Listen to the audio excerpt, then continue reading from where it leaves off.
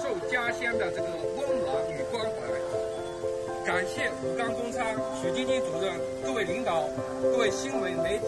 各位来宾的莅临指导，你们的光临让活动更加意义非凡，更加温暖人心。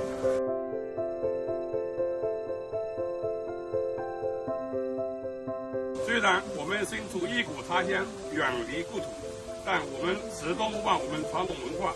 始终怀念家乡的风土人情。这一盒盒粽子虽然并不算多么的昂贵，里边的种类也并不算多么的丰富，但里边所寄托的家乡的亲人对海外游子的依依眷恋之情和殷殷期望之意，却是年复一年愈发的深入，愈发的浓烈。所以我们相信大家在品尝来自家乡的美味的时候。也会能深切地感受到这一份浓厚的乡土。